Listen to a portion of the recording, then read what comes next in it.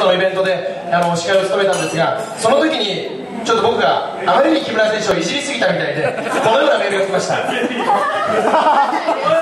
前回みたいにあまりいじめないでくださいね。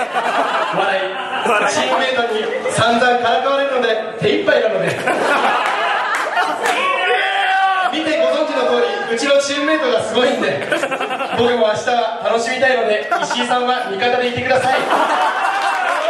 メールをくれましたこんな素晴らしいチームメイトを持てた東京アパッチの岡田選手大変素晴らしいと思います。では木村選手戻っていただいて。大丈夫ですありがとうございました。